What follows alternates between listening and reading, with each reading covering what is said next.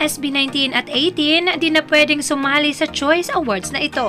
Alamin kung bakit. Yes, it is time once again to recognize the best group performer of the year and the most passionate fandom as hosted by Village People. Inilabas na nga ang kanya-kanyang mga nominasyon pero alam nyo bang hindi na pwedeng sumali dito ang SB19 at 18? Bakit nga ba?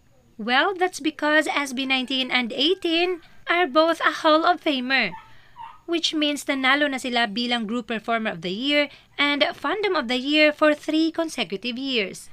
At dahil nga Hall of Famer na nakatatak na ang SB19 at 18 sa naturang parangal, napatunayan na nila ito kaya hindi na kailangang sumali pa sa kompetisyon.